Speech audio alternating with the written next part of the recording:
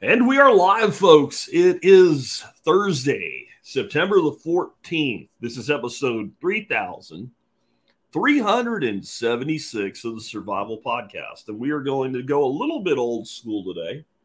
We are kind of doing this because of the impending doom, if you want to put it that way, of uh, economic crisis that we're looking at. And the question is not, are we going to have an economic crisis? The question is, what type of economic crisis will we have? How deep will it go? And how long will it last? We're actually going to break down four different types of economic crisis for you. Two, two of one of which you've been through if you're older than 10, right? One we've heard about a lot, and some of our grandparents went through it, but we haven't. One that, uh, well, we've seen in other places around the world, it's never happened here. And one that we've done several times, and most people didn't really deeply notice.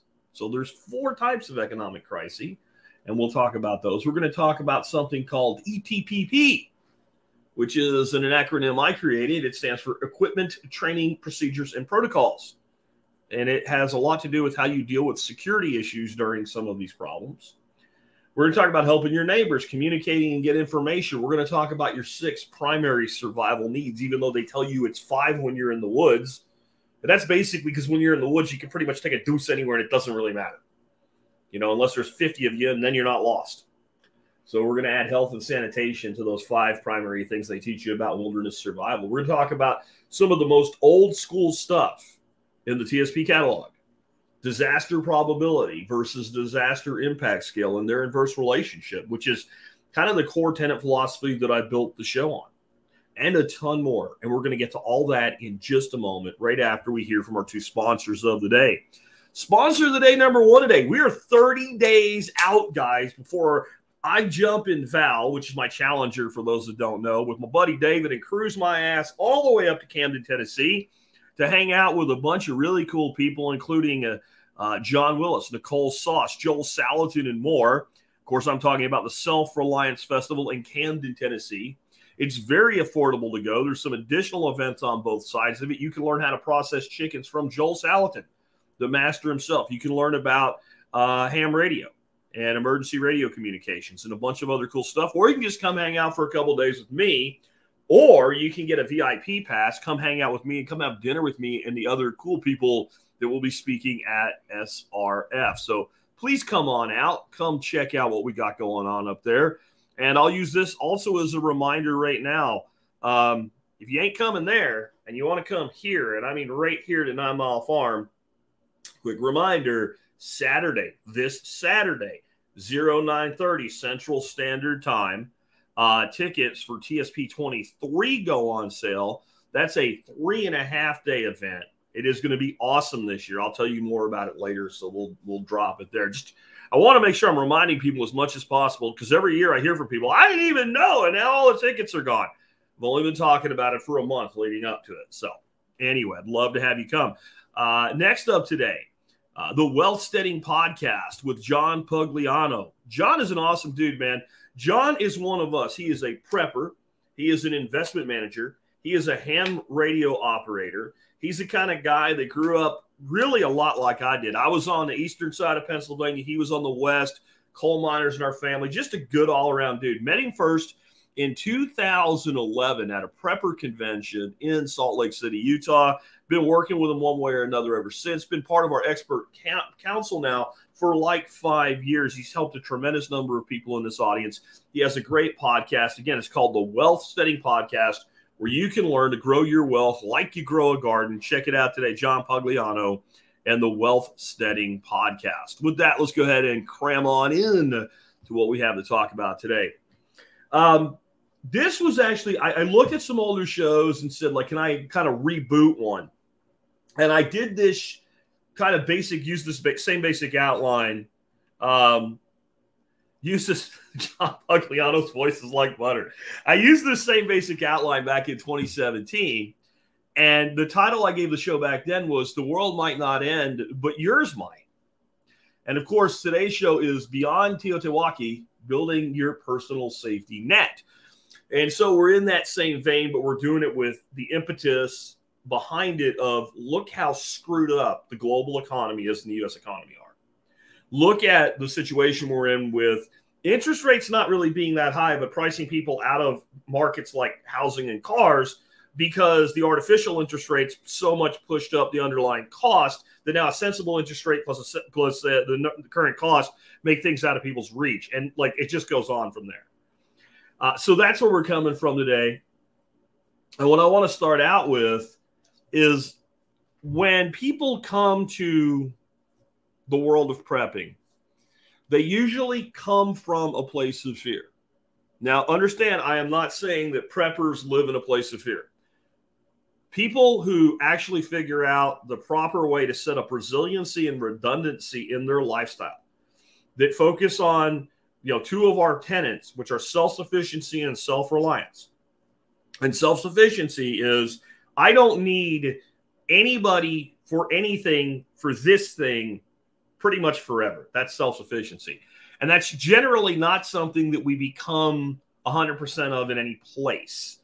So we usually measure self sufficiency in percentage. If I produce 50% of my food, I'm 50% self sufficient for food. And we measure self reliance in time. Self reliance means I do not need you for a time, right? So if I have six months worth of food, I have six months of self reliance. I don't need food. I can live for six months on the food that I have, but when I run out, I'm done. But if I have 50% self sufficiency and six months self reliance, I can probably finagle that and work it out to where I can go a year without needing anybody. So they work together. And when people start to build redundancy and resiliency into their lives, they have a backup power plan. They have a reserve uh, economic plan where they have money in reserve to cover bills for 90 days. Uh, they're building their life aggressively. Maybe they have an entrepreneurial pursuit. They've seen to their needs of food, water, shelter, energy, health, and sanitation, and security to the best of their ability. They actually come away from fear. They become very bold and they kind of just go back to living their lives and fine tune things as they go and say, hey, is the garden doing well? Are we making our, our, our, our, our nut on saving money for the future? If we had to draw out any emergencies, have we put it back? And otherwise, they live their life like a normal person. That is not how most people who have never prepared in their life come to prepping. And I deal with them weekly. It's not as bad as it was back in like when the hype was around 2012 and shit like that, right? It's not like it was three years ago when the COVID started and a whole new flock came in freaking out. But every week there's two or three or four emails that I get that like you're like, dude, step off the ledge, don't jump, it's going to be okay. And this comes from a, a, standpoint where people find a thing that they fear.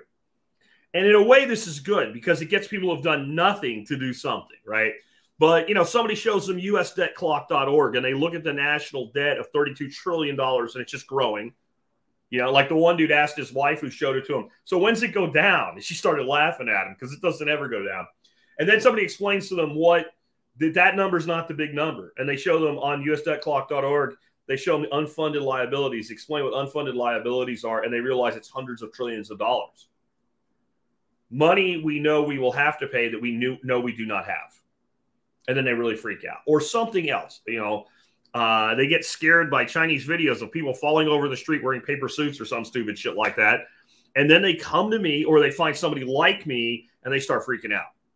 And I experienced that right away in the beginning of doing the show, all the way back in 08. And uh, I was like, I have to have a way to explain this to people that can make them rational. And what I came up with is two things the disaster probability factor, right? And the disaster impact scale, and how they had an inverse relationship. So we could get people started preparing in a logical, methodical way for the things most likely to happen to them.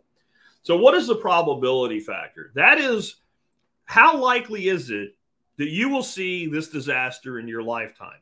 So, if we take a Hollywood, you know, end of the world as we know it disaster, like a comet impacting Earth, killing almost every living creature on the planet, the actual odds that you are going to see that are incredibly low. And if that actually happens, what you can do about it is really not much.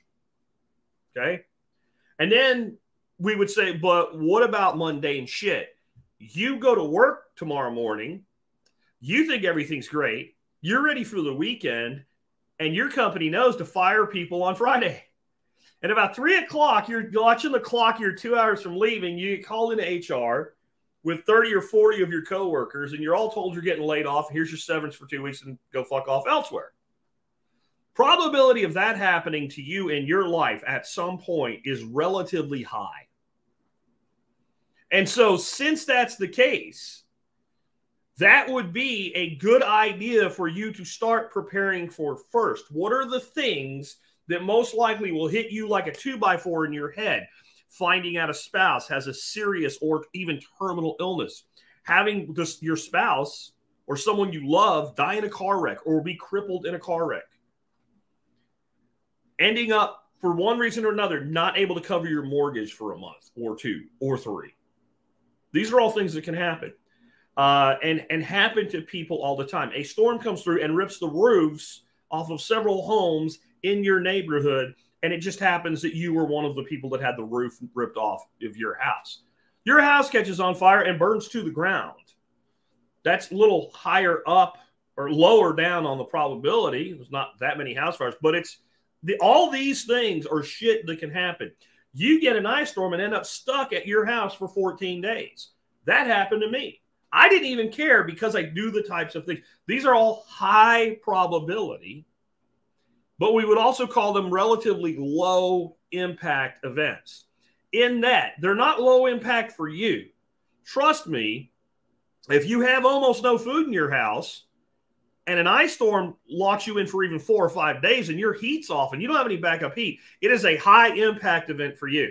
But the reality is, most of the rest of the country, probably most of the rest of your state, most of the rest of the world does not give two shits. They may turn the news on and go, "Oh, those poor people! Hey, honey, go get me some steaks out of the freezer. We're going to have steak for," dinner. and they go on with their life. But you don't make Hollywood movies about that, and it doesn't seem to be the thing that gives people an impetus to start preparing. And then, so I also said we do have to acknowledge that there is something called an impact scale and probability, and then there's an inverse relationship, right? So, what that means is that these these other kind of far out there disasters, their impact on the life of the world is much bigger but there's an inverse relationship. The more people affected by any individual disaster, the less likely that you will experience it in your life. So let's start off from the things that are most likely, accept that inverse relationship, and realize as we start preparing for things like a job loss, uh, an economic downturn, not a complete collapse or something like that, a weather event, etc. Eventually, we'll get about as prepared as our resources will allow us to be for even the extreme. And since I came up with that, we have obviously had one major global event. This is like a gray area between the two. And of course, I'm talking about the pandemic. I will submit to you that the average person's place in the world was not affected at all by a virus. That if we had done nothing, we would have been like, oh, we had a couple of years of a really bad flu season. That's how most people, I don't care if you believe it, if they didn't terrify you with the TV and, and all the propaganda and all the shrieking and all the shutdowns and everything, if we had just gone on with life, most people would be like, oh, well, that sucked, but here we go.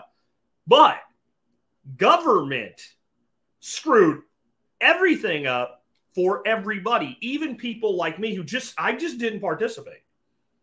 I run my own business. I have my own little fiefdom out here on my property. Most of the businesses didn't shut down in my area anyway. I went wherever I wanted. I did so without fear and I didn't care. But my my life was still impacted.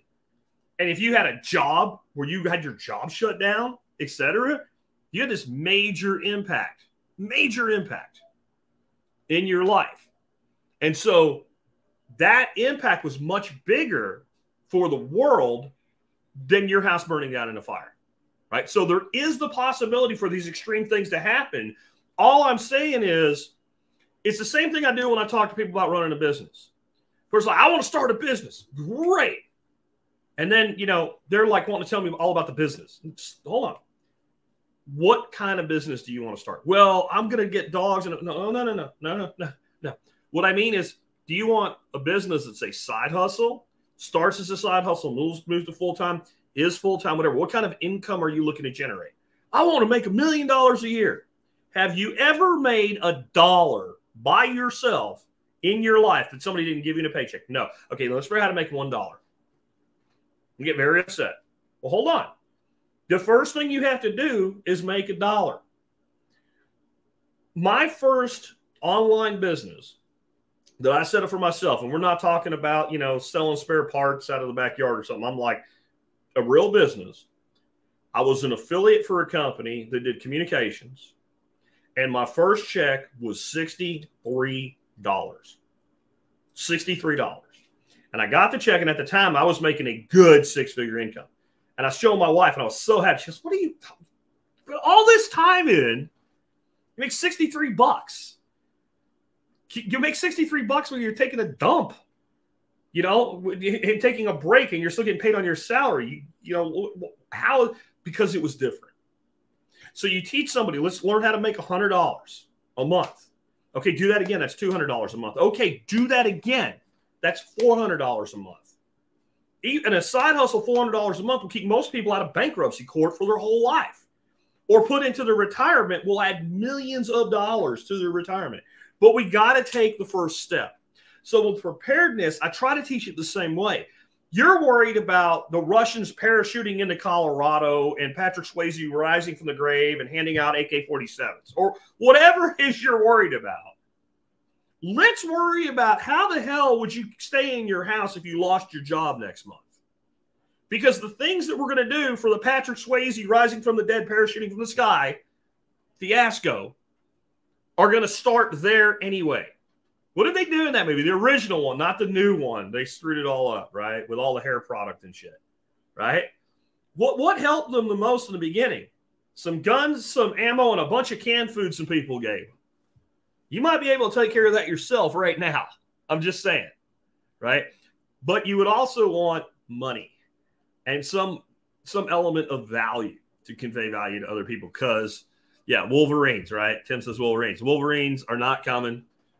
We have our own shit to deal with, and you're going to have other people in your life that you have to deal with and help. So, this is where we have to start really grabbing onto circle of influence and circle of control and circle of concern and being willing to differentiate between them. What can you do if there is if the sun goes nova for some reason? You can die. You can't do anything. If you're concerned about it, put that shit in the back of your mind and go on with the stuff you can do. If there's a global economic collapse, what can you do? Well, there's a lot of things you can do to mitigate it, but you can't really stop it. You're not going to stop it. You're not going to fight them. You're not going to vote yourself out of it. Right. So we have to like start realizing what do I actually influence and what do I actually control? And we need to focus on that. And as soon as you do that, you start to realize, well, the things that I need most in my life, then that I can procure today are the place that I need to spend my time and my mental energy and my money and my resources. And it's a real simple list of six things. This isn't your wants. Okay. You should probably have had that. If you're a parent, I know you've had this conversation with your kids by the time they're like four or five years old, and you keep doing it all the way up until you throw them out of the house with a box full of hefty sacks to carry their shit in, right? Wants and needs. These are needs. You need food. So we can start building up a reserve of food. Eat what you store and store what you eat. Whatever it is you eat on a daily basis, build up an inventory of that and a means of maintaining it. Like ramen noodles and spam. Do you eat that shit? Because if you do, that's fine. I actually don't hate spam. I don't want it often, but I don't. Spam's kind of like this. Spam is of canned foods. It is the Jack in the Box taco of canned foods all of us, I think, live where Jack in the Boxes exist anyway. If we're like my age, you remember back in the 90s, going out to a bar, getting drunk, getting a ride home, and go through the Jack in the Box drive through and getting two big tacos for 99 cents. They had like a slice of American cheese inside this tortilla. They just folded up and stuck this nasty meat concoction in and deep fried the whole damn thing. And it looks nasty and it is nasty but you're kind of like, uh, oh, it's good nasty, right? That's that's what spam is to me once in a while. I eat mostly beef. So I have multiple deep freezers. I have, you know, energies we're going to get to next, but I have an energy solution to keep it all preserved. And that's what you should do. Whatever it is, I don't, as much as I push kind of a keto carnivore lifestyle, I don't tell you how to live and I don't tell you what to eat. Some people have a hard time with that because I'm so passionate about what I do and I have so much belief in it because of how I look and feel after doing it for a few years. But that doesn't mean you have to do it. Whatever it is you eat, you need to store and have the capacity to make it last for a few months because that's about how much you need to have on hand, in my opinion. It's about 90 days worth of food. A lot of people that are hardcore preppers say one year. You go one year, then you have to start branching out into the dry goods, the rice, the beans, and stuff like that. And we do that too, but we know exactly what that is. That's long term emergency rations.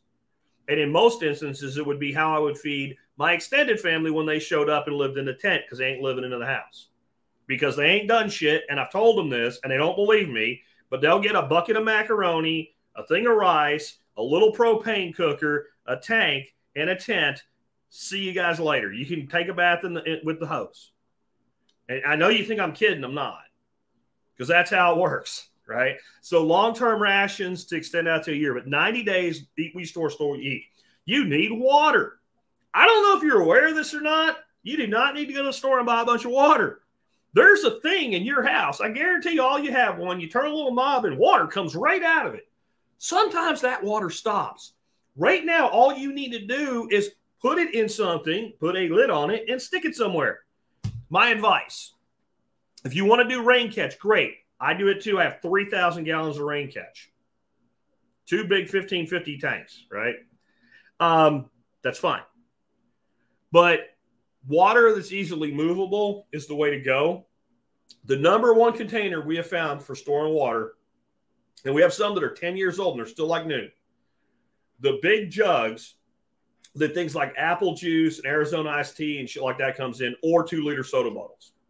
And the reason is you, can pick two of them up and take them anywhere.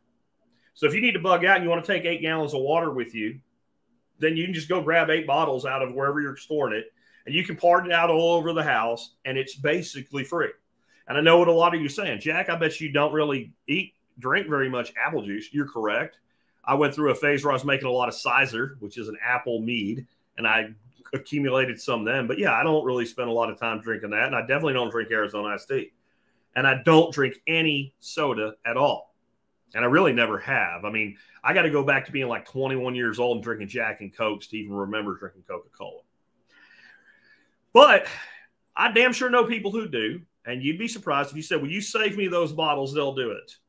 Give them a good rinse out, put water and put the lid on them, stick them away. Don't worry about bleach or anything. As long as they're clean, it's not going to go bad. There's nothing in there to go bad. If you're that worried about it, every once in a while, use water, refill it so it doesn't get kind of stale and flat tasting. Uh, but water, have a, a, and then shelter. Like you probably have a shelter, but what if you didn't? What if you got whipped out? What if there was a you had to evacuate? You just need to think: How would I live if this place that I live in right now wasn't here? That's the one that people don't want to do more than any of the rest of this because it is so foreign. I'll put it this way: They say when you're dying, you have all kinds of weird visions and shit. And it may not be because you're crossing over. And I'm not here to pick on anybody's beliefs or anything with that today. I'm just saying that, like, one of the scientific explanations is that your mind can't comprehend its own death. Now, some of the samurai uh, lineage might disagree with that, that they say it's good to contemplate your own death on a daily basis. But if you're not doing that, I think there's some truth to it. I think there's some truth to it. And so with shelter, I think we kind of not as severe. We kind of think that like what would have to go wrong is so bad.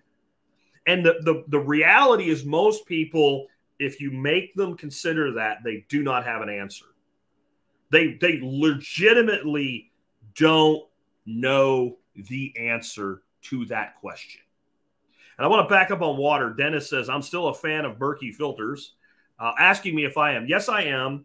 I don't care what the government says. The government has designated Berkey filters as a pesticide because Berkey says they filter out bacteria. This is retarded. It is your government in action, and it's one of the major threats to your life. And so when I talk about water, the only reason I even backed up for that is yes, you should have some sort of filtration system as well. But it starts, I'm trying to give you the basics today. It starts with store some damn water that comes out of your faucet for free. I remember I got stuck at Philly airport one time and I ended up getting a hotel. And uh, Jack, whatever's the check, Black, the comedian, Lewis Black. Lewis Black was on, and he was talking about how we buy bottled water in this country. He's like, America has to be the only country where people are stupid enough. Perfectly good water comes out of your faucet. You're like, no, fuck that. I'm gonna go to the store and buy it in a bottle for a you know five dollars a gallon or whatever. Um, yeah, there's a good. It's a good thing to have a filtration system as well, as I've always said. Uh, but shelter, that's what we like just can't conceive of it, and because they don't have an answer, they don't want to talk about it and they don't want to consider that. You're going to find in any situation where you're trying to prepare for anything, the thing you do not have an answer for, you'll always kind of push it off. Sometimes, as long as you genuinely are going to come back to it, that may not be a terrible thing because that three pound computer in your bone skull has kind of a background process and so if you feed yourself, I need to know what I would do in this situation. You don't have an answer right now, and you just ask yourself that question every morning for a week, you're going to end up with answers falling out. But what happens inevitably is people just push it aside and do everything else and forget about it. And they just feel better because they forgot about it, but the problem ain't gone away. So you need to think where would you bug out to if you had to, and for how long? A tent, a trailer, etc. All can be viable solutions, but only for a time. And so I think it's a good idea if you have anybody, family or friends that thinks this way to talk about swaps where if something did go wrong, I'll come to you or you come to me. Now, you might, Jack, you just said your family's going to be living in a tent and eating rice and beans. That's because they don't want to do anything. That's because they don't want to take any responsibility. That's because they have said things literally like, well, if something goes wrong, I know where I'm coming and I've told them where I stand. And then they laugh uncomfortably. That's different. I'm talking about where people are in this agreement and know, like, if I come, I'm bringing X amount of resources with me. That's a good plan as well. Simply knowing where you would go and what you would do and how you would deal with it and in different situations because you might be like, well, if my house burned down, there'd be insurance money and I would be able to get a hotel at least for a while. Would you? That might be a phone conversation to have with your insurance agent. What would it look like day one through day 60 if I had a total loss due to a fire of my home. That might be a good conversation to have because you might find out there's some kind of add on that you could be paying 10 bucks a year for that literally would add hotel insurance. I know that sounds crazy, but sometimes it's that cheap. Sometimes it's a little bitty thing.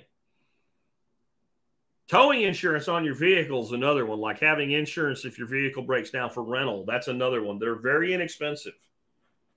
But a lot of people assume they have those types of coverages and they don't. See, I told you we're going to be very basic preparedness mindset today. So even the boring shit like insurance, yes, you need it. If you are a working age person with dependents and you don't have life insurance, I am sorry, you are fucking wrong and you are fucking irresponsible. Let me say it again, just so you get through some of your thick ass skulls. I've heard from some of you about, I don't need that. What do I care? I'm dead. If you're if you are single and no one depends on you, I don't give a shit. If you are independently wealthy, where your your heirs and your spouse are well cared for, no matter what happens, then I don't care either. If you are working and if your income isn't there, they're not going to eat or be able to stay in their home, and you don't have life insurance. You are fucking irresponsible and you are fucking wrong and you need to fucking fix it. Okay? Okay? Just straight up on that. So, shelter, energy. A lot of these interact with each other. So, I have deep freezers. They do not run on jelly beans and mouse farts, they require energy. So, I have enough reserve energy to keep my freezers going for at least a month. At least a month. And I do that because if I was going to be 90 days, I will find a way to preserve that meat without the freezer after it's not here anymore. And as I use it, I'll consolidate it so I don't need as much energy. I don't need to run three when one's empty. Yeah. But I also want energy for things like I have several portable air conditioners. And if we are without power in the summer here, it is miserable. I can run a couple portable air conditioners and close that door and close another door. And once I've done that, I have comfort zones in my home. I can run my refrigerator and my deep freezer so I don't lose all my food. That's just one thing. I have other generation power generation capability, another smaller generator, so I can run my pond so all my fish don't die. We have reserve fuel so we can get in our vehicle and go somewhere without running out of it if we need to bug out. We definitely have a plan for this, and you need one too. Health and sanitation. This is one that's really easy for me. The number one problem that people will have if you have a full grid down scenario is we often take a dump and pee multiple times a day. And you can only do that in a place for so long before you start to cause a real problem. I have a septic system. As long as my house is still here and I got 30,000 gallons of water in my pool and a bucket, we can flush. It doesn't even faze me, that part of it. But I thought about it a lot harder when I lived in a subdivision. And I actually checked into it as to how, how did my sewers get my sewage away from my house, given the terrain was relatively flat. And it turned out that there was some downward gravitational flow, but there was pumping stations, and the estimate was my subdivision would be having things surface about 48 to 72 hours of those pumps not being able to run. So we thought about it a lot more. Our solution was pretty simple five gallon bucket, toilet seat, bunch of garbage bags, and blue stuff you put in porta potty. Is it perfect? No, but it was something. It was something. And then we're like, well, if it's long term, we can start digging some holes digging some holes. You cut a hole in the bottom of the bucket. When the hole gets halfway full, kick dirt back in the hole and dig another hole. At least we knew what we would do. You know, my wife has always been a, a toilet paper prepper, man. We can't go near like a Costco without coming out of that with the biggest damn pack of toilet paper. I used to make jokes about that shit. I'm like, if our house ever catches on fire, the upstairs is going to burn for two extra hours just from the toilet paper that's up there. She really, when all that shit went down with the COVIDs and people were like running through Costco's fighting each other over the last pack of toilet paper, she just gave me a look like, uh huh, see, see, right? But you need to have a plan for health and sanitation. So that is not just getting rid of your waste. That means medically. And if you have chronic things that need, need ongoing medication, and you're like refilling that prescription every two weeks, you need to have a conversation with your doctor. And you should have a month or more minimum in reserve. So that means I've got my two weeks or my 30 days or whatever it is they normally give me, and I've got another 30 days. And every time I fill this prescription, I take the newest stuff, just like rotating stock in a grocery uh, pantry, and I put it to the rear and I pull this one forward. And that way, I've really got 60 days or 45 days. And some of you guys, some of the medication that you're on, and I'm all for staying off pharmaceuticals if you can, but th- there are pharmaceuticals that keep people alive or keep people sane. And that needs to be in reserve in a real way. You need to have basic medical knowledge. Now, you're not going to go to medical school and become a doctor just to be a prepper, but you need to know how to treat basic wounds, how to recognize certain conditions to know when to seek a higher level of care, even if there is some risk in it, and when not to. There was a guy who died during one of the ice storms, ice storms or snowstorms, not that long ago. EMS was able to get like really close, but not all the way in, and they wouldn't come anymore. I think this was in Chicago. And they basically were on the phone with this family and saying, drag the dude through the snow if you have to. Come to us and they wouldn't do it. They refused. They made some, some stupid ass statement like we're taxpayers. Like we can't get the vehicle in. And by the time they tried to get to him, the dude died. And they said if they would have just immediately come to us, he probably would have lived. So you need to know when. Like this is serious shit. This dude's going to die. Or this is not worth risk. I really recommend you get Dr. Bones' book about you know, it's basically written by a doctor for the layman. You could beat somebody to death with it if you don't have it already. Have a good med kit and know how to use it. Know how to use your medical supplies for life saving emergency shit, like when to apply a tourniquet and how to apply it and how to do it quickly and right. Take a basic first aid course at least. Have basic medica- over the counter medications. I still make, think it makes sense to have a reserve of antibiotics. If you pick up Dr. Bones' book on antibiotics called Alton's Guide to Antibiotics and Infectious Diseases, pick that up. Get that get get that uh, book and then learn about the fish antibiotics. And I won't say any more so I don't get slapped in the PP by the YouTube police. But I'll just say that the antibiotics that we buy for our fish tanks are made in the exact same plant. They're the exact same pill. They're, they don't have a fish antibiotics factory. It's the same shit. And most of the common antibiotics can be bought over the counter in a big bottle, right? And then you have them. And after a certain amount of time, you should probably replace them. But that can be life saving because, again, I just want to reinforce just because the world doesn't end doesn't mean that yours didn't. If you have a serious infection and you're stuck wherever you live, and many of you live way out there, way out here, like was a Josh Thompson song, and you, that's great until you can't get nowhere. And you got a serious infection, it's going to be days it can be life saving or at least can be life enhancing that you have a way to treat it and you know what to do and when to do it, when to rely on it. Last is security. Security is the one that either gets over focused on or ignored. It's partly for the same reason that the uh, the shelter one gets ignored because they don't want to look at well, what does it mean if that actually happens? But the other reason is, and Bonnie's asking about the fish antibiotics. Can you still buy fish antibiotics? They're going to go be veterinary prescription back in June. No, that's big time misinformation. And most of the people behind the misinformation are my fellow influencers in the prepping industry. And all of you need to be lined up against a wall and smacked by some big arm dude all the way down the line, all the way back until you fall on your ass and then be picked back up and have it happen again. You know why they did it, Bonnie? So they could sell through affiliate links or directly a bunch of fish antibiotics to a bunch of panic preppers that didn't know shit about what was going on. It did not apply to fish antibiotics. No one's going to take their guppy to the vet to get a fucking prescription. They're lying fuckers. I'm sorry.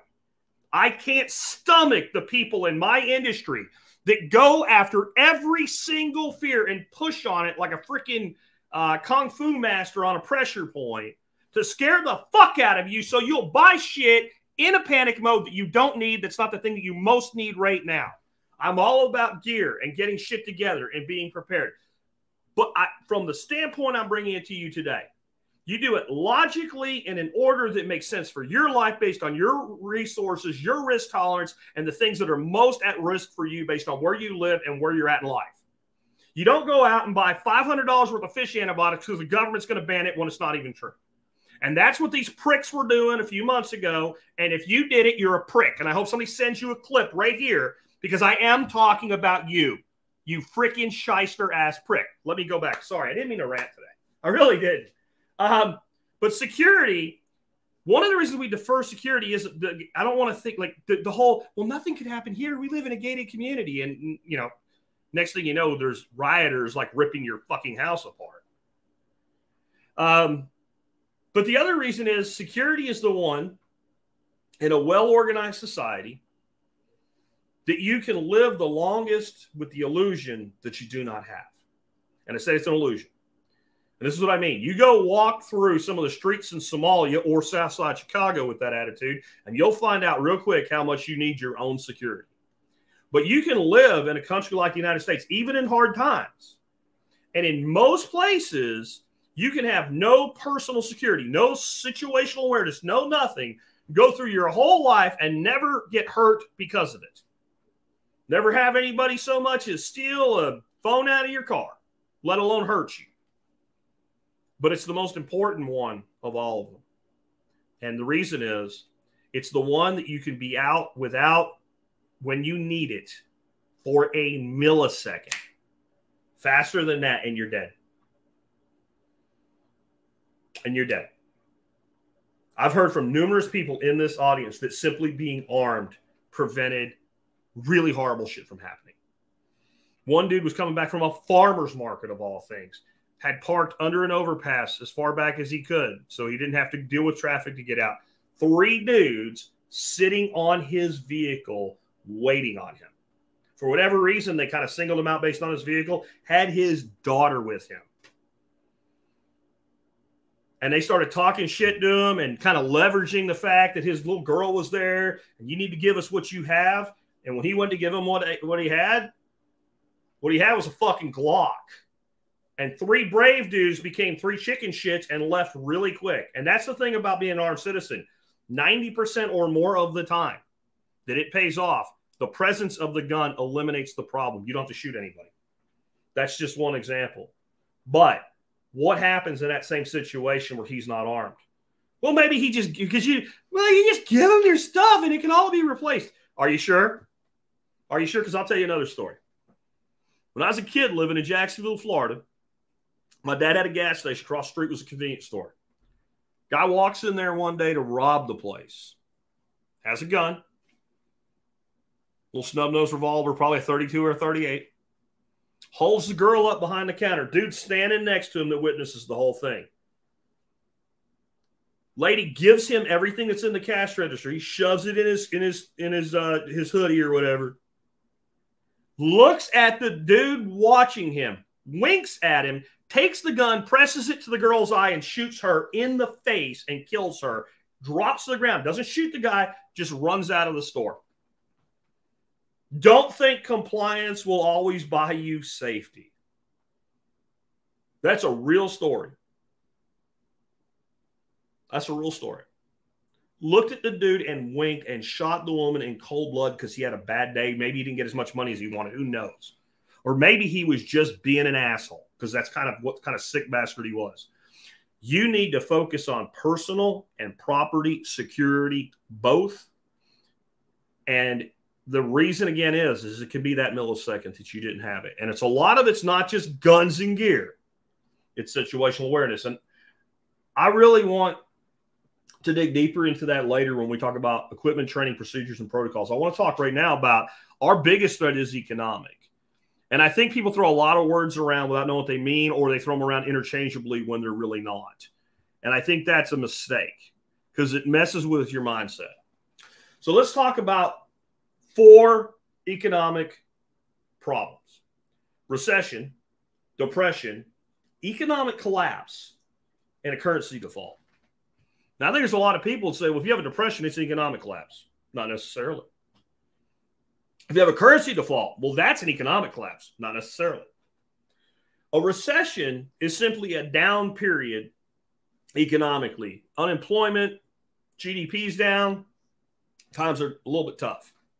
There's a textbook definition of it, and then there's wonkiness. Like right now, you're in a recession that doesn't look like a recession because unemployment's low.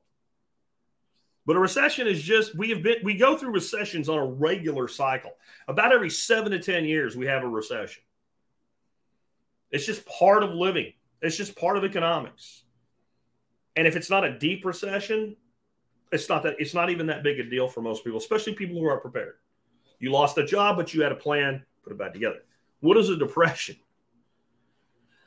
A depression is a la 1929 stock market crash.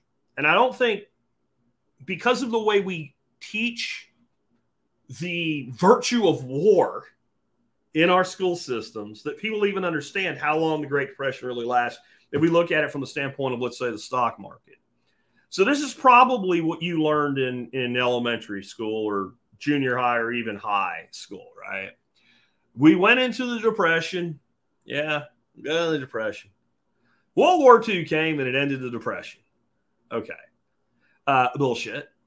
So if you go look at a graph of the Dow Jones Industrial Average of the stock market, and you see the crash of 1929, and then it kind of goes up and down, dead cat bounces, and then bottoms out in the early 30s, and then it is nothing but up from there, really.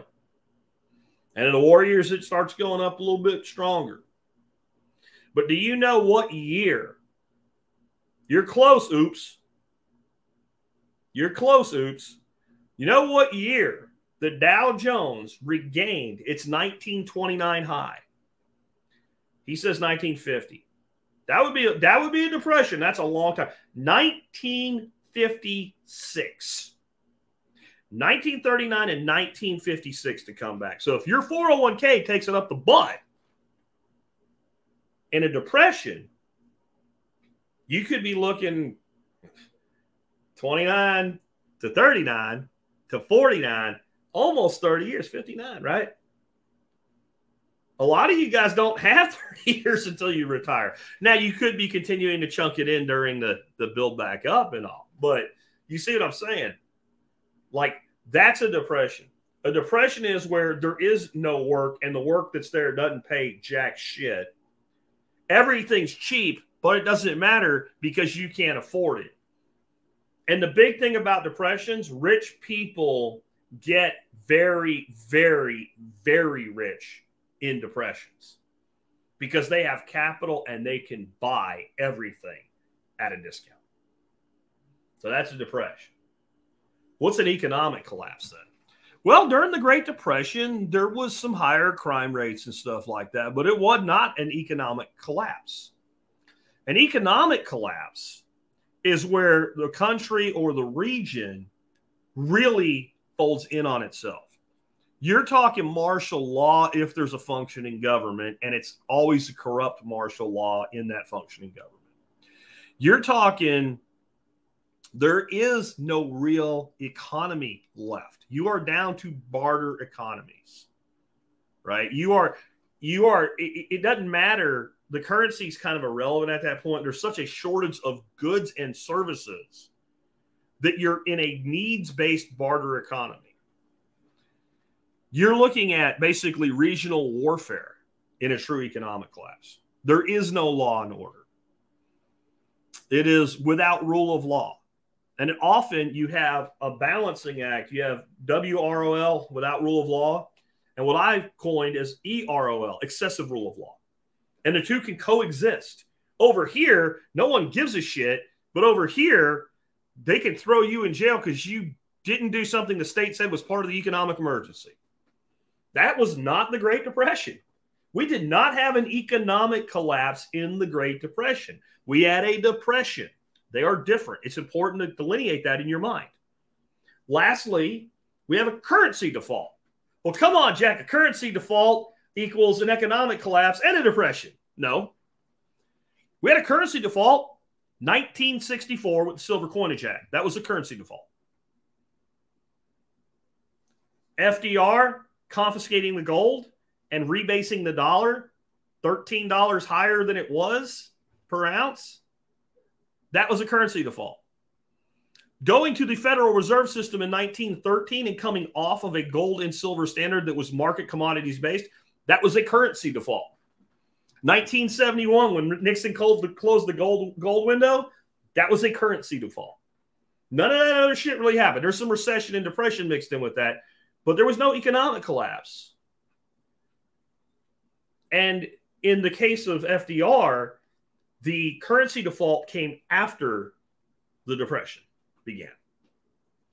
It's really important to understand that there are a lot of gray shades in all of this. That it's not everything is super and then everything is Mad Max, because that's where people come to this from, and it's a mistake. So, what are some basic common sense preps? I'm going to go through this list quick so we don't go too long today. 30 to 60 days of food without complete boredom. So that does not mean 30 to 60 days of beans and rice, rice and beans and beans and rice, and ramen noodles and uh, macaroni elbows. Those are fine as long term reserve starvation assets. You should be able, at any point in your life, to not get in your car for one to two months, eat a good balanced meal, couple three times a day, every day, and not be out of food till the end of that window. 30 minimum, 60 is a really great number to shoot for. Ability to deal with that initial power loss in five to 10 minutes. What do I mean by that? I don't mean in five. Now, if you have a whole house uh, generator that's on natural gas and your power goes, it comes right back on, that's great. Most people don't have that. If you if you, if I could, I would. I don't have natural gas service, or I would. I, if I had natural gas service, it's the last utility to fail. I would have a Generac whole house backup system. I would absolutely invest in it, but I don't. What I mean when I say deal with the power outage in one to five minutes is you know where your blackout kit is. Your blackout kit is your basic lights, emergency weather radio, all that stuff. It is the stuff that allows you to enact your next level of power redundancy. So if you have a generator and it's not automatic backup and you need to go out and wheel it out somewhere and start plugging shit in or run your cable over your cutoff switch or whatever, I don't expect you to have that done in five minutes. But I expect you, you're in a room of your house, there is no lights once the power goes out, it is dark. You got you're in the shower with soap in your head, the power goes out, the kid's crying that you have set up your home to where there's some sort of power failure lights that are plugged in that come on, some way where you can see good enough to go get your things and and hand the kid a flashlight or a little lantern so he stops crying. Take I, I t- love little Etekcity lanterns. They're like four of them for like 25 bucks. Little hooks in different rooms of the house. Open a lantern, hang it from the hook. We can see. Now we can get our shit together. That's actually the first step if you use can't where are the candles where's the lighter like knowing where the stuff is and centralizing one or two blackout kits maybe if you have a big house one on each side of the house that at least gets your shit together that's a minimum first step then you need power and the, for the basic needs of at least 14 days two full weeks of comfort be able to run again if you live in the south a couple window unit air conditioners a couple kerosene heaters or propane heaters in the north both if you live in a mixed climate, right? The ability to charge your batteries, charge your cell phones, to stay in touch with the world and see what's going on. Next, the ability to deal with waste for 30 days if you have to, just like I talked about earlier.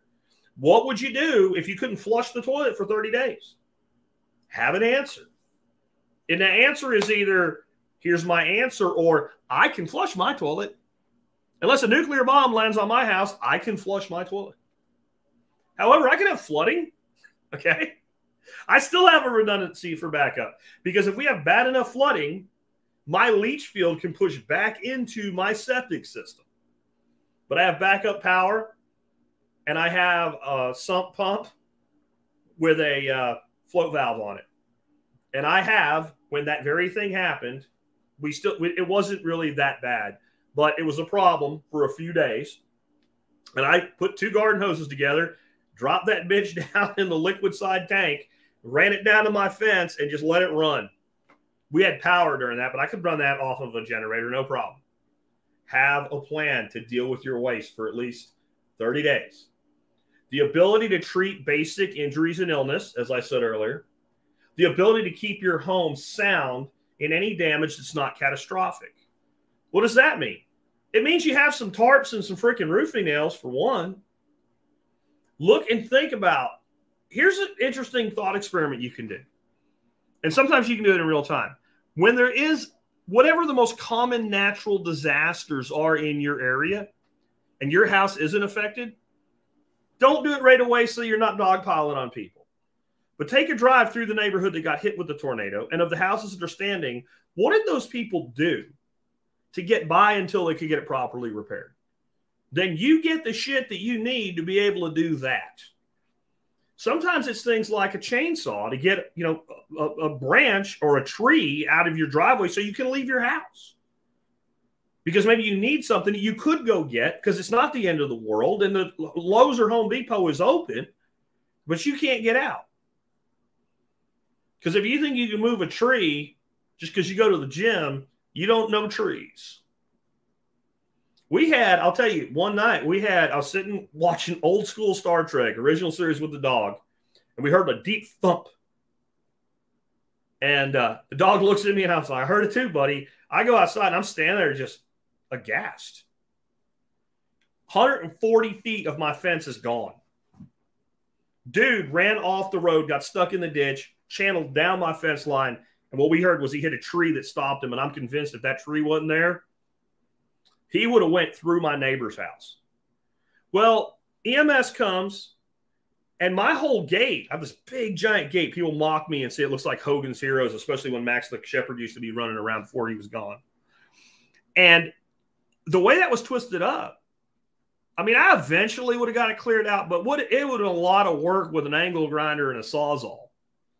Uh, the EMS guys got the freaking jaws of life and cut some shit apart for me and cleared it out so we could get the vehicle out. And there was a way out. I have a way I could have went around and out, but if we didn't have that way out, I got two big bar ditches on both sides of that driveway. So unless I had my other field that I can drive around the backside and get out, I'd have been stuck until we figured out how to get out of there. So it can happen. That's part of maintaining your structure, just so you think that way. Next, water for at least 30 days for all needs. That's cooking, drinking, and bathing. You need enough water to go a month. And again, it doesn't none, understand. I'm not saying if you don't have all this done by next week, you're wrong. Except breadwinners who don't have life insurance. You better have life insurance by next week, or I will kick your ass if we meet in person. I swear to God, that is the most. I have a good friend who passed away years ago. His name was Hal Dodd. He had no life insurance. He told his wife he did. And he was one of my best friends. I'd like to dig him up and kick his ass over it. That, that's why I'm such a hot button on that one. Because I know it just, she ended up okay, but it just about wrecked her. Don't you ever be responsible for income for a family and not have insurance on your ass at least a couple years wages because that's at least long enough to figure out what to do. Like the standard recommendation is 10x you make 100 grand a year you need a million dollars in insurance. I think it's a great recommendation. But if you got two years that gives a person time to figure out how to adapt and adjust. And it depends on what you can cover. Um, next. Money to pay for your expenses for 90 days. And that's without rating your IRA or something like that. You need a 90 day emergency fund. If you are $20,000 in debt right now, you might be like, that's that's a great thing, Jack. I can't do it. No, what you can do is you can save up a thousand dollars and then you debt snowball your $20,000 worth of debt. And when you get done with that, then you build your 90 day emergency fund. Again, this doesn't all have to be done next week, but that needs to be the goal. That's the destination. But you need, if you're going to like snowball on debt where you're going to sell everything in the house, the kids are afraid you're going to sell the dog and them next. It really makes a lot of sense before you do any of that to build up 500 to $1,000 in an emergency fund. And this is why somewhere along the way, you're going to drive over a piece of steel and blow two tires out on your car and it's not going to be covered or something like that. You're going to end up whipping out a credit card and backpedaling. If you have that emergency fund, then you cover it, you restock the emergency fund, and you go back to dealing with the debt. Dave Ramsey impression done for the day. Yeah. But 90 days, that needs to be the goal. If we all lost our jobs without digging into the long term security that we have, we can go 90 days, pay the mortgage, the car payments, etc. You might have to scrounge to get there, but baseline, you got to get that done. If you're 25 and you don't have that done, I'm not going to give you shit. If you're 35 and you don't have it done, you should have done it by now. All right. And you could have done it by now and you didn't. So now you need to man up and accelerate a little bit quicker. Um, then let's talk about security for your home and your persons. So the acronym I created for this is ETPP. I think it's pretty easy to remember ETPP, right? ETPP. It's equipment, training, procedures, and protocols. And I'll go fast on this today too. Equipment is the stuff that you have. When it comes to personal defense, equipment is your gun and your extra magazine and your holster, right? That's that's equipment. If it's around the house, equipment might be something like motion sensors around your property. It's equipment. Really easy to understand. Training is your ability to do the other three things. Training is your conditioning and your ability to, under stress, use your equipment to know when to implement protocols and to know how to do procedures. That's training. The other three, without training, are worse than useless because they are a false sense of security. If you carry a gun and you haven't drilled drawing, reloading, fixing malfunctions and shit, and you think you're going to be John Wick when some shit goes down, you are Delulu, man. You are freaking deep in the world of Delulu. So Delulu. Don't even know what to say to you. You people always say you revert to your highest level of training. This is utter fucking nonsense. And when I hear people that say, I was a Navy SEAL, no, you weren't, because you wouldn't be saying stupid shit like that if you were, because you know damn well you revert to your lowest level of training. Your lowest level training is your highest level of mastery. The thing you can do over and over and over again. Your highest level of training is the last time you stretched yourself past that. And until you do it enough times it becomes your level of mastery, you do not revert to that. You revert to your lowest level of mastery. So you need to train and not just how to have a gunfight, right? You need to train. I got a gunfight. I'm not dead. I'm not even injured. The bad guy's dead, but the innocent civilian I was protecting is laying on the floor bleeding out. How do I save his ass? That's training. You have a tourniquet, it is useless if you don't know how it works, right? Then that leads us to procedures. Procedures, and I have a whole show just on security where I go into this deeply. Procedures are the way you do a thing. When I was in the military, we learned rappelling. There's a way that you can tie a rope on yourself. It's called a Swiss seat. There is one way to do it. There are not two ways to do it. If you do it the wrong way, you may very well die. So you train that procedure until you can do it cold. Sometimes there's more than one procedure that's the right way to do a thing, but you train your procedure until you can do your procedure cold. If there's a secondary procedure, then you train that one too. Like when you can't rack a pistol because your hands are covered in blood or grease or whatever it is, and you learn how to rack it on the heel of your foot, that is a secondary procedure. But it is a procedure. It is how you do a thing. How you clean your weapon is a thing, and it's how you do it. And obviously, that relates directly to your training. And training does not always mean somebody else does it. You can self train in so many of these things. And then you have protocols. Protocols are the conditions under which you enact a specific set of procedures. So what I mean by that is right now, if my grandkids want to go outside and play, they just go outside and play. Maybe we send a dog with them. If anybody is checking around that gate with that dog, I ain't worried. I'll be calling 911. They can follow the blood trail. Right? But that's garden variety shit. Now, if there were riots going on down in Lake Worth, which is a few miles away from me, I might up my protocol to know you don't go out with us without us watching you. I might not be real worried about having some things sitting out on my back porch if I live in a suburb on a daily basis with my gates closed, as long as it's not too high value of a thing. But if there's a rash of burglaries or whatever going on, I might bring stuff inside. When the power's out, I'm going to behave differently than when the power's on. I'm going to start rationing power. If we are going without food on it, you know, we're not bringing food in for some reason, we're going to ration food. Those are protocols. When do I shift our security protocol or our consumption protocol or our communications protocol? Those are protocols. Procedures, how you do a thing, protocols, when you do things a certain way due to conditions around you. And you have standard protocols most people don't need to go that far. That's the way you do a thing every day when eh, it's peacetime protocol, right? In the military, you have a protocol for friggin' everything. There's a protocol for how you fold your fucking underwear, and I'm not kidding. And they do measure it with a freaking ruler. And a tenth of an inch is wrong if it's too short or too long. It's six inches. I don't know, might have changed, but that was six inches. You rolled your underwear. The way you rolled your t-shirts, the way you rolled your socks protocol for everything. We don't need to go that far. We just accept the way we behave on a regular basis is peacetime protocol. But then we need additional elevated protocols, and you need to know this before it happens, not after. Because that way you can train your family very gently. Some of you ex military guys like me, you can't go drill sergeant on their ass. It doesn't work. Trust me, I tried it. Okay. You got a reserve drill sergeant for one. your 15 year old did something really stupid. Really stupid. Okay. You can just, by exposing them to the concepts, that way, when there's a panic moment, we know what to do.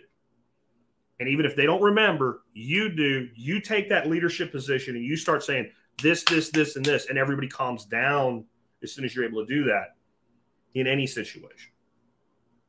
Protocols, ETPP. The ability to help neighbors is something else I think we need to think about. Okay, I don't care. You don't care about the little old lady that watches your kids after school every day? Really? You don't care about your neighbors? You know that if like everything's great for you and you don't do anything to help them, eventually you're gonna be like, screw that asshole, they're gonna turn on you.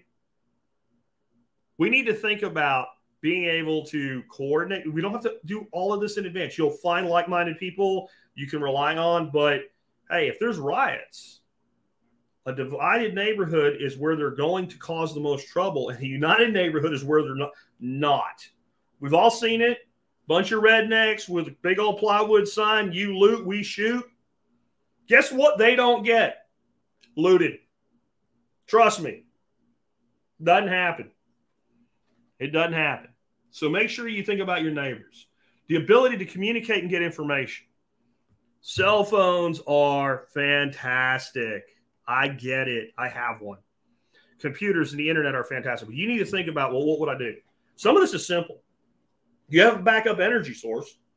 You have a television.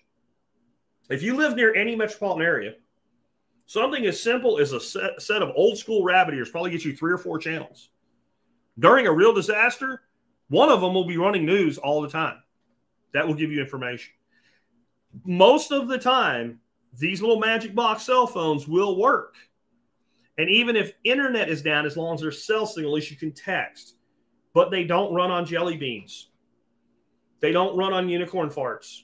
They run on power. And so most of us can handle this because we are smart enough to know plug it into your car and let your car idle. Hook up a you know, the other thing is you hook up an inverter to your battery and you run your refrigerator. Have some extra gas, etc. But have the backup power plan coordinate with this ability to communicate. It is not a terrible idea to add radio to what you do.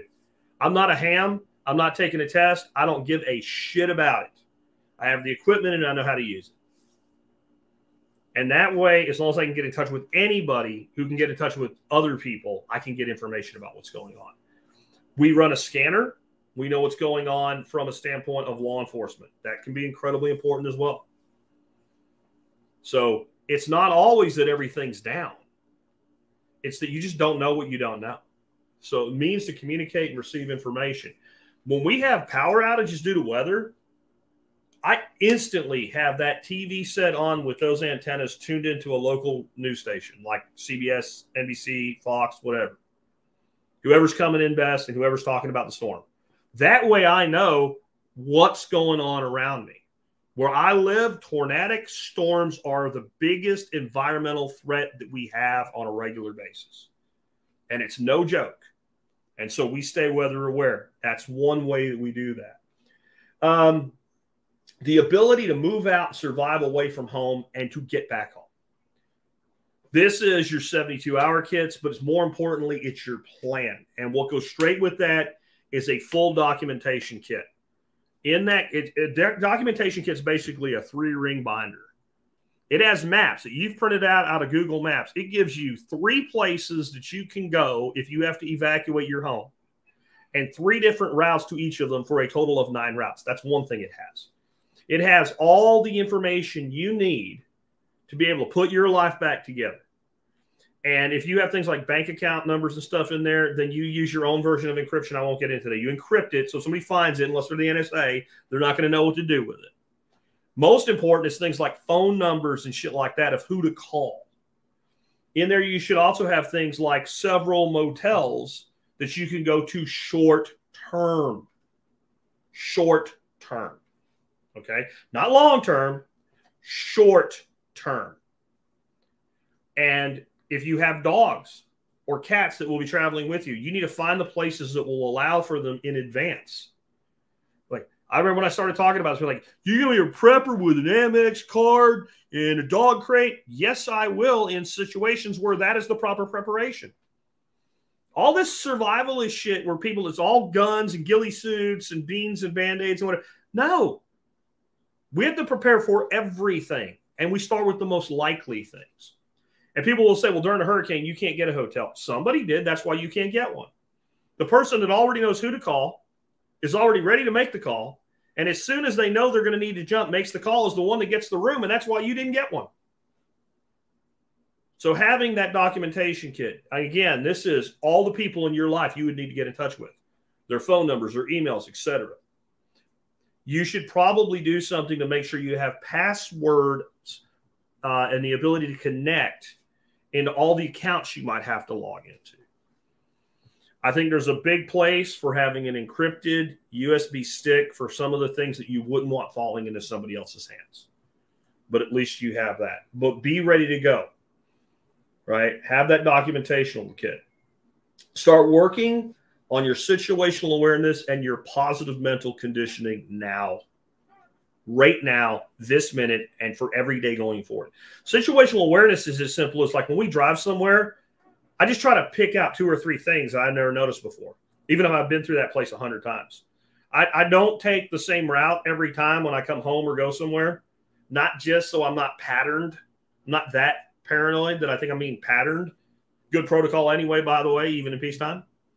But I do it because it makes me look at different things. And then positive mental conditioning is often like it seems weird, but you have to think about the negative first. If this, then that thinking. So you're pumping gas. You see some people that look a little bit sketchy. You should start taking corrective action, but you should also be gaming out. What if these guys approach me? What would I do? And that way you know what you would do, and you're reverting to your lowest level of training, not your highest, because that's a myth. Because I'll tell you, with training, the thing that you can do in the freezing rain with a flashlight in your teeth and numb fingers at 3 a.m. in the dark, that's the thing you're properly fully trained for. That's not your highest level of training, it's your lowest. Right. Um, but yeah, you need to work on that positive mental conditioning. And that is if I know what I'll do when something bad happens, I'm less worried about the bad thing happening. And I keep a positive mental attitude throughout the whole thing. Uh, next, basic fitness and reasonable activity. I look, guys, I lost a lot of weight. I don't want to be some prima donna like looking down on people and shit now, but I'm just going to tell you flat out if you stand up, you stand up straight back like you're at attention in the military, and you don't lean forward and you look down with your head only, you keep your shoulders and back straight, and you do not see your feet, you are not physically fit and you are at risk of serious medical complications. If you are a woman with a well endowed chest, and that's why, I guess you could, you know, look through the middle, like do it topless if no one's around or whatever, somebody is, yeah. And if you can't see your feet other than because of, of that well endowment, then you're not healthy, man or female. You're not. That would be a good place to start. Get to where you can see your freaking feet. You don't have to work out every day, go to the gym, be a big old muscle guy or anything like that. Do something. Take a couple mile walk every day. Do something. Be physically active because you don't know when you're going to need to be able to be physically active. We all age and we all get to a point eventually where things start to break down and wear out. But we don't need to help the process along. We need to go kicking and screaming all the way, in my opinion. That's all I'll say about that. Get a good diet in place. You don't agree with me on what a good diet is. I don't care. Get a good diet in place because this is what when people say, "But I eat this way and look how healthy I am."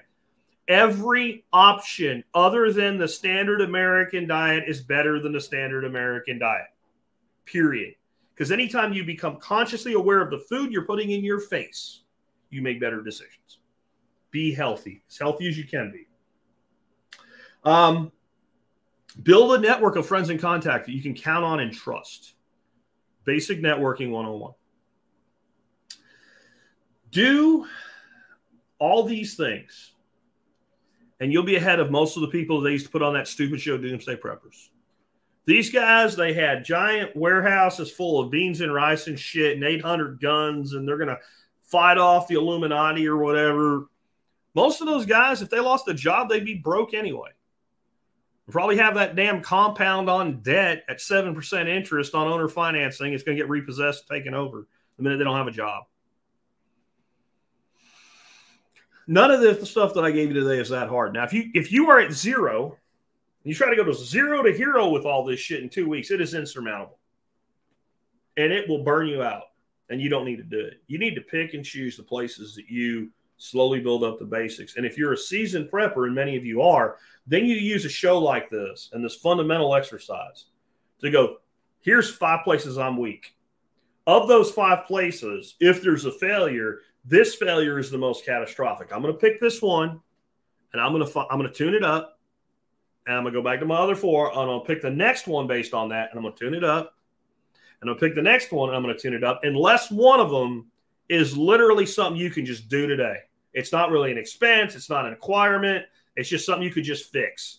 Then you do the easy one and then you go to the most catastrophic if it fails. And if you do this every once in a while, right? If you do this every once in a while, your resiliency just grows across time. Let me tell you something about resiliency. It's what I always talk about TikTok. The clock ticks for us all. Resiliency is part of self sufficiency, self reliance, independence, and liberty. You are building that and getting a little bit more of it every day, or you're going backwards. There's no static because life will move you in the wrong direction unless you intentionally move in the right one. That's why this is important. And this is a big one. Don't think everything is just okay because it's not on fire yet. There's a lot of people that I know that were preppers that have kind of fallen off prepping at a time when we're probably closer to economic crisis of some kind than we've ever been in most adults' lives. Why? Because it's been this bad for this long. And in the end, it's all just been okay. It can all go south. The national economy, the global economy can all go south almost overnight. Now, it won't be overnight, but it'll look and appear like it was. Or your personal economy, your personal life can all go south overnight. Most people are one to two paychecks away from poverty and, and, and one to two months of lacking paycheck from being evicted.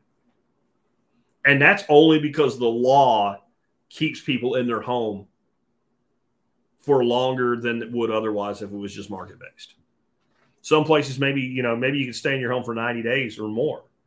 I've known people fight evictions for almost a year before they physically got thrown out, but their lives were destroyed during that time. They were spending more energy trying to keep in their home for free as long as they could than fixing their life. Or if you could just pay the bills, you just go fix your life. The stuff I'm talking about today can be the thing that saves your ass in an economic collapse or riots or a storm. But it can also be the thing that makes you lose your job. Not makes you lose your job, but when you lose your job. There's two ways people handle that. One is they go get, you know, climb in a bottle or something and go pour me and think their life is over. Start making really dumb decisions and maybe go out and take some shitty job they really don't want. But I've heard from a lot of people in this audience that have put their shit together the right way. And when they lost a job, they did exactly what the other option is take a couple days off, go have a nice meal, take a walk in the woods or something. Think about what you really want in your life. Get your resume on the street. Start contacting all the contacts you've maintained because you're prepared for that to happen. And choose your next chapter of your life. See, when you properly prepare let's be honest. There are some disaster or disasters, no matter what, but you can at least mitigate to some degree. As long as you're alive, there's something you can do. But there's also a lot of other things that are extreme disasters for some people that are minor inconveniences for others. As you saw today, I can get pretty hot tempered. One of the reasons we got rid of our Subaru is they tried to screw us out of about $1,800 in work that was all supposed to be warranty and they billed us for shit they should have never built the, billed us for in the first place. Not just because it was warranty, because it shouldn't even have been built. They billed us for a software update, for instance. We took it in for a standard service. I completely lost my shit on the service writer on the other end of the phone. And I finally said, Do you know why I am so pissed And he said, I imagine because we we in, incorrectly tried to bill you eighteen hundred or six hundred dollars, whatever it was. No, because I was never going to pay it, and if I had to pay it, it wouldn't be the end of the world for me. But tomorrow, you're probably going to do this to some single mother who's going to put it on a Visa card because she needs her car and she doesn't know what I know. And you guys are predators. So knowledge is key too. Knowledge is key too. But let's just imagine that that wasn't Subaru's fault. That it was really sixteen hundred dollars worth of, worth of work my car needed. I would have, you know, if I looked at it and said, okay, that's really what it costs and it really needs, okay, go ahead and do it. And I would have wrote him a check and I would have cussed. And by next Saturday, I would have forgot about it. And somebody brought it up. I would have ramble, ramble, ramble, ramble, ramble, ramble, blah, blah, blah. And then back to my life, right? But there are people, a $1,600 unforeseen expense is crippling. And there's shades of gray all the way in between. What I laid out for you today is not a way to guarantee that none of it will be crippling, but a shitload of it that would be minor inconveniences. Things that would be life altering, temporary life resets. And that's the best that we can do. Uh, Ace B says you should get a new Ford Maverick, best value out there. Of course, uh, there's a waiting list. I didn't know there was a new Ford Maverick. I don't know that I want a new Ford Maverick. I don't even know what they look like. You're hitting the car guy in me a little bit there. I I think about all of the Mavericks that were available, the old school Mavericks, right? When I was a teenager for a few thousand dollars, they could just stack them in a garage somewhere and then rebuilt them eventually and what they're worth now. And it just, oh, it kicks me in the teeth. I think about the fact there was this place was totally off the subject, but now you got me on it, right? There was this place that was only a few miles from where I grew up and went to high school in Pennsylvania. And they had 70s Stingray Corvettes. It was like what they specialized in for used cars. And these cars were like 10 years old at the time. They were cherry and they were like 55, 6,500 bucks. And just go back and if I picked up enough scrap copper, could have bought a couple of them, just stuck them away. Barely ran just ran them enough to keep them from breaking down. Like or uh, also unrelated was uh, I remember when uh, a whole bunch of 30 carbines, like Korean War issue 30 carbines, Cosmoline paper wrapped around them and shit, never issued, came into a place called Laneco. They were 69 bucks with everything pristine. And I remember asking my dad about, ah, they're worthless. You can't kill a deer with them. oh, for a time machine. I think we all use it a little bit differently. Anyway, guys, hope you enjoyed today's show, including a little levity there at the end. Want to remind you again TSP 23 Fall Workshop. You want to come hang out with me and a bunch of other cool people? Get up at least by nine, be in front of your screen, watch the Telegram group and the Telegram channel. And I'm going to drop a link in there at exactly 0930 Central Standard Time. If there are any tickets left at 0940, I will make it public on the site and I will put it out in all the social media and send an email. Some years that happens. Last year it did. Some years we don't get there. This old South Park joke, right? And it's gone. And so this is going to be awesome. Uh, and on that note, Stephen Reisner from Potent Ponics is going to be here. He's going to be doing a fantastic presentation. He's probably worth coming to see alone. And I will actually be on a podcast with him tonight at 7:30 Central. I don't know how to tell you to find it yet, but if you monitor my social media today, as soon as he gets me the link, I'll send it because I think we're doing it live. And I don't even know what we're talking about. So whatever he wants to talk about, and that should be fun. Uh, but if you can come, please, please, please, please, please don't miss out because again, I don't worry about selling all the tickets. I worry about the person that emails me 45 minutes after the sale's over and asks me when they go on sale, or the person that emails me and they're pissed because they didn't get in. Um, I have people all the time. Can I get, buy two tickets earlier? No, I can't. I tell people I know on a first name basis no every year because we limit it to 50 people. All right. With that, if you like the show and you want to support us, one of the ways you can do that is buy your online buy your online stuff going through tspaz.com. That's TSP aztspaz.com. No matter what you buy, as long as you start there, you help us out. And uh, today's item of the day is basically just a deal of the day alert. You guys know I love sous vide cooking. I think it's a great way to make a good steak even better. It's a great way to take a cheap piece of meat and make it juicy, delicious, and tender. There's a lot of other hacks you can do with sous vide. You can make yogurt, for instance. We use a sous vide circulator to heat up water for dishwashing at events. You can do all kinds of things with sous vide. You can take steaks that you already have pre-seasoned, vacuum sealed, thrown in the freezer, right out of the freezer, frozen. An hour and a half later, you're eating a steak that was frozen an hour and a half ago. You can use it on a low setting just to rapidly defrost meat. They're just great. Why am I saying all this? Because Anova's Nano is on sale today. Um, stupid cheap. It is 85 bucks, I think. Let me see. Uh, it is on sale for $85. It's normally $149. $64 off, 43% cheaper than normal. And this is one of the best ones out there. Now, if you use the link in my write up for it, uh, you will go to, well, it's now it's a hundred bucks. It went up. This happens. This is why I wanted to point this out. This is why you should follow me on social media. So it's gone from 84 to 100. And there's a lot of times they run these sales like this. And as they sell a certain amount, they keep bringing the price back up. So now it's, I'm going to have to modify the write up. So now it's 30% off instead of 46% off.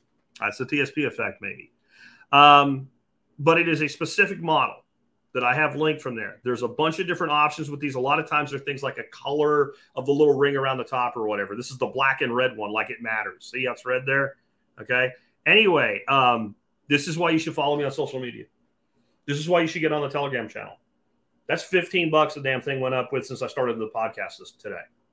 But uh, it's still a good deal at 100 bucks. It's still a good deal at 100 bucks. If you do not have a sous vide machine in your life, you want to get one in your life. This is buying the premium one for the price of the discount one. Anova is probably the best on the market right now. Sorry about uh, the fact that some of y'all missed the super stupid cheap price as it was a little bit ago. Anyway, guys, I uh, need to let you go, and I appreciate you being with me today. Tomorrow we'll have an expert council Q and A show. And uh, then Monday, we'll be back with another Just Jack show. And I hope you guys have a great weekend. Do something with it, make something out of it. Remember, you always need to think about the fact. You know, I talked about earlier the mind can't comprehend its own death, but the samurai always said it was good to comprehend your own death. I think it's good to comprehend your life, to contemplate your life with an understanding that it is finite. And that's part of what makes it special.